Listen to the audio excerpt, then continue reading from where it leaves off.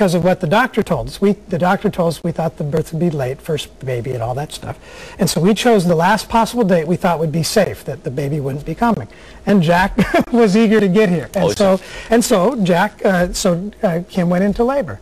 And of course, I couldn't go to the meeting, which was being held on Whidbey Island anymore. That was that. That was an obvious decision, so I stayed uh, to be present for Jack's birth. And then we had, as usual with the labor, it was a long event. I can still remember Kim doing some calisthenics and all kinds of stuff.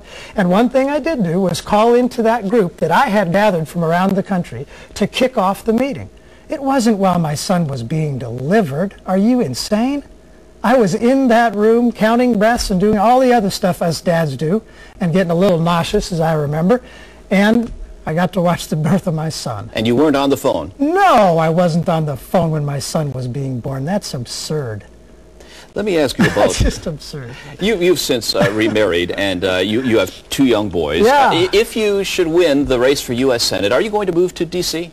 You know, we haven't decided. I mean, in the end, the race has 60 more days to go, and we're going to go through those 60 days uh, and see what happens. Now, I'm, I'm biased a bit towards moving the whole family there if we choose. I mean, that's how Galen and I have talked about it, only because you get a little more time, you know, at the edges of the day with your children if you're back there, than if the children are here during the school year and you're flying back and forth all the time. So I'm, we're inclined to, but that's a decision we'll have to make uh, uh, should the electorate be uh, uh, who send me back there. Well, that is a very difficult question because uh, you know, I'm curious as to how you how you balance the, the family life and, and, and your work life. Uh, You know, one of the reasons that uh, Dino Rossi decided not to run for Senate is because he also has a young family and he didn't see himself being able to fly back from D.C. to Seattle all the time. Mm-hmm. Uh, isn't that the first discussion you have before you decide to run as to how would we work this with It- our it- family? Would you have had that discussion and decided already? No, no, we haven't decided exactly. We've taken a lot of advice along the way. Of course, it was one of our most intense discussions because being in political life is extremely difficult. You want to try difficult.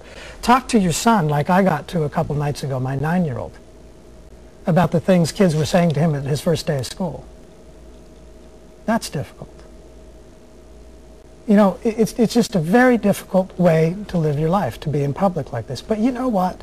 You know what? What we decided, Galen and I just agonized over this part of it, but we decided that we cared so much about the direction of the state and country that we felt that on balance, the best way to teach our children that, that in the end life is about serving others was to sacrifice and show service and not just talk about it. Are you So worried about we, becoming- We made a conscious decision. Are you worried about be doing the same thing and becoming a part-time dad again? No, no, not at all. In fact, I was able to be successful in parenting with Jack. And I'm very proud of that. Very proud of that. And it was intensely difficult. You know, you've got to go back and understand what it's been like. You know, I haven't lived in the same city as Jack since he was two because his mom chose to move back to her family's roots up in uh, Doylestown, Pennsylvania. And I was in D.C. at the time. We were on our way back to Seattle at the time. I went ahead and moved back to Seattle, got homesick for Jack, and moved back to the East Coast. And what did I do every other weekend in order to keep that connection?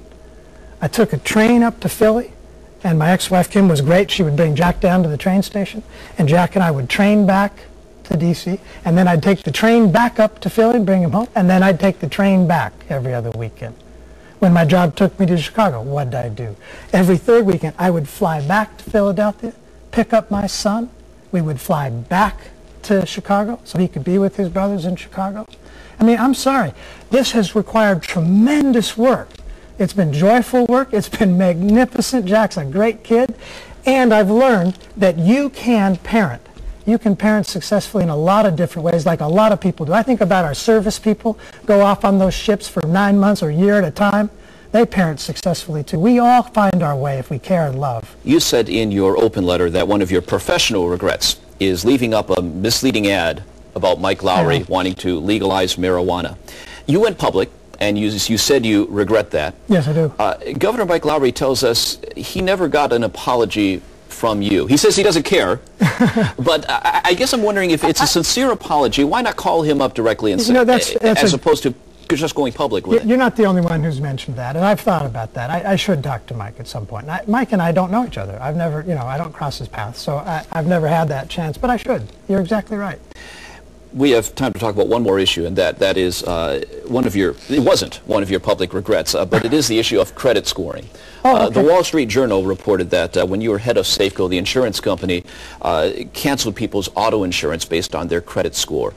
Do you believe that's a fair way to assess people by their credit? Yeah, they shouldn't, they shouldn't cancel people just for credit scoring.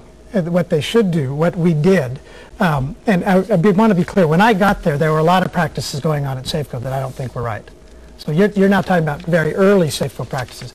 The programs I put in place uh, were programs that use credit as a part of a larger way of evaluating the risk, not as a single determinant. But I mean, we can't, we can't, uh, you can't use things like race or income No, or of course not. neighborhoods. Those are all illegal. But isn't, isn't credit scoring doing about the same thing? Not- no, not at discriminating all. against people who, Not who might at- be, who are poor? Not at all. In fact, what we found from our research was that people who have less resources, so let's say they don't have very much money, they tend to take very good care of their credit. They tend to take very good, and they wind up with very high credit scores. You know, when we studied it, the neighborhoods that had the most impact, guess where they were?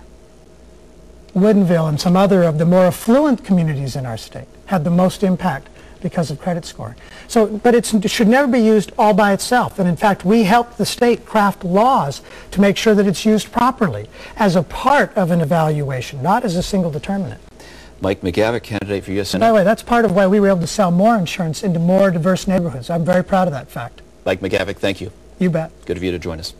We invite you to share your opinions on Mr. McGavick's statements and whether any of this affects how you plan to vote. After the show, join the discussion on Blogger King, the Upfront blog at king5.com. Click Upfront. When we come back, another candidate for U.S. Senate. Still ahead on this 40th anniversary of Star Trek, the Senate candidate who's making the final frontier his campaign theme. Just who is Michael Good Space Guy Nelson?